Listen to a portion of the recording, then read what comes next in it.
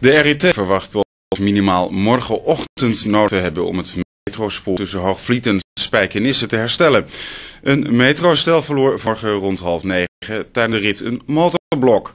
Het ongeluk gebeurde juist nadat de metro station Zalmplaat in Hoogvliet had verlaten.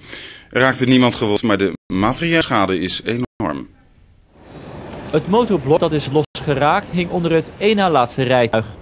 Vlak nadat de metrostation Zalmplaat had verlaten, de tunnel onder de Oude Maas inreed, liet het blok door nog onbekende oorzaak los. De herrie die er onder de metro doorrollende blok veroorzaakte, was tot in de verre omgeving te horen.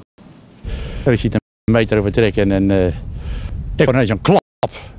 De Christus, er is wat met de meter gebeurd. Ja, een flinke klap. En uh, ik denk, nou is ergens tegenaan gereden.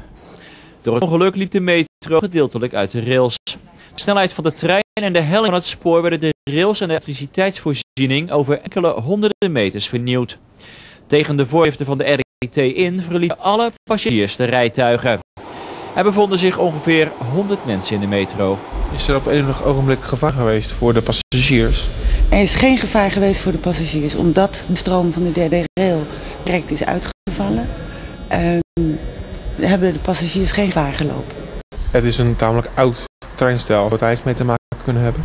Ja, ik kan van alles gissen, maar ik wacht het technisch onderzoek en de resultaten daarvan af.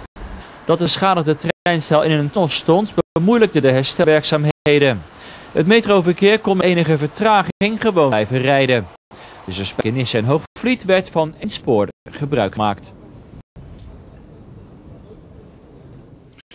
Ook morgenochtend kan er nog maar op één spoor worden gereden. Reizigers moeten daarom rekening houden met een kleine vertraging.